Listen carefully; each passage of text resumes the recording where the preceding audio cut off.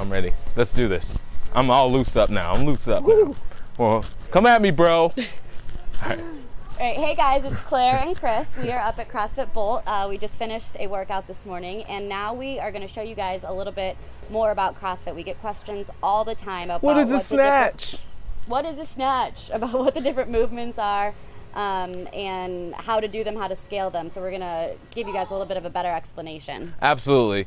That's one of the questions you hear. What is a snatch? What is a clean and jerk? What is, you know, what should I wear? All these different things. Can a girl like me do them? Absolutely. And so we're going to show you that CrossFit's for everybody, obviously, uh, and we're going to show you how you can get involved and just go.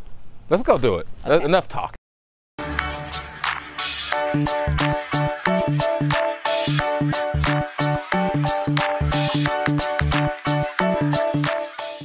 Matt McCraney, as you remember from CrossFit Bolt, and uh, he's going to explain to us some of the movements uh, that are kind of uh, the fundamentals of CrossFit. So.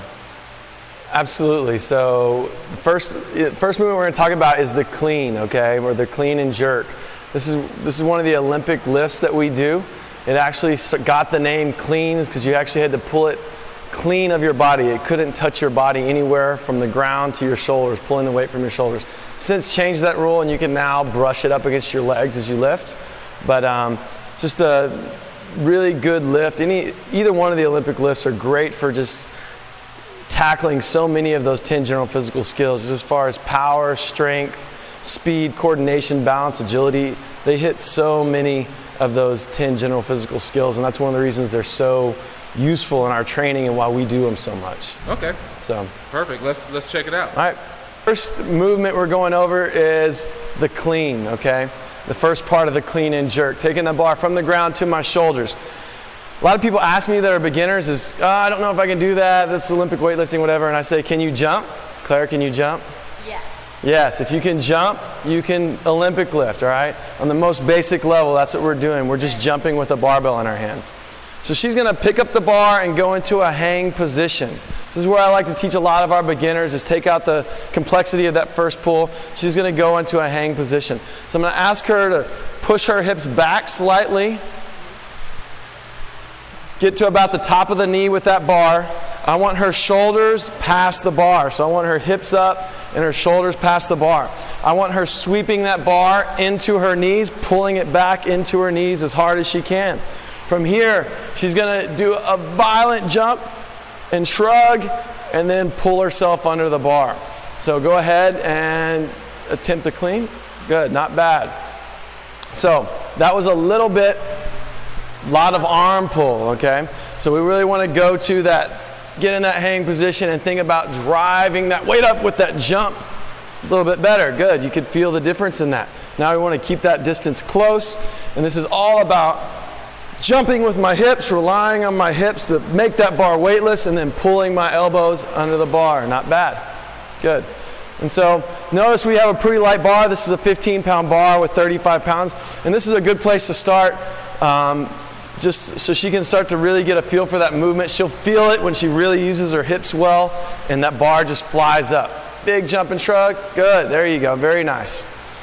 All right, great.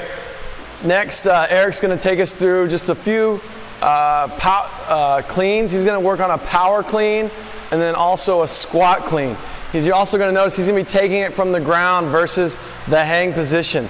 The only thing you really need to know from taking it, from, well, there's a lot of things you need to know, but the only thing we're going to cover right now is that first pull off the ground is not to be immediately jerking and jumping with the bar.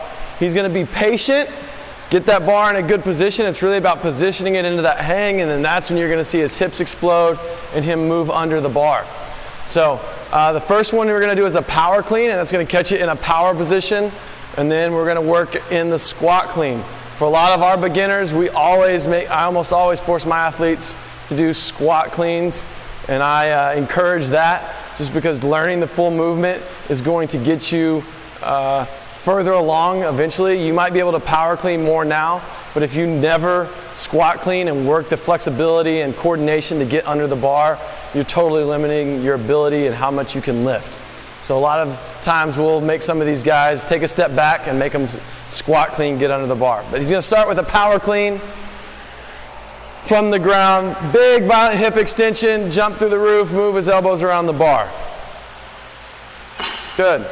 Notice he catches it in a power position. That's anywhere with my hips behind the bar, anywhere above a full squat. Cool. Next, Eric's going to do a squat clean. The reason we want to be able to squat clean is eventually I'm not going to be able to pull that bar as high, so now I'm going to have to be fast and be able to get under all the way under that bar as deep as possible. So squat clean just means he's going to catch it in the full squat position all the way down on the bottom of that squat.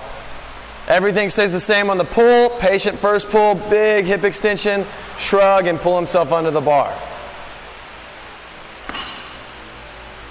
Good.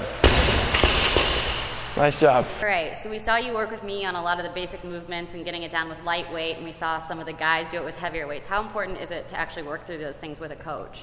Um, it's it's very important. I mean, especially these Olympic lifts. These aren't a, tech, uh, a more simple lift like a back squat or a deadlift. Even those, if you're doing them improperly, can hurt you as well.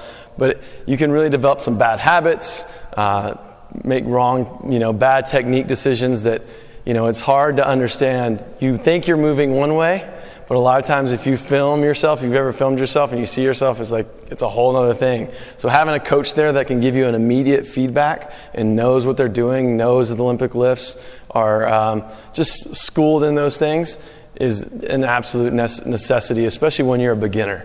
Um, otherwise, you're going to develop bad habits and risk uh, injuring yourself. So. And how quickly are you going to get me to lifting like them?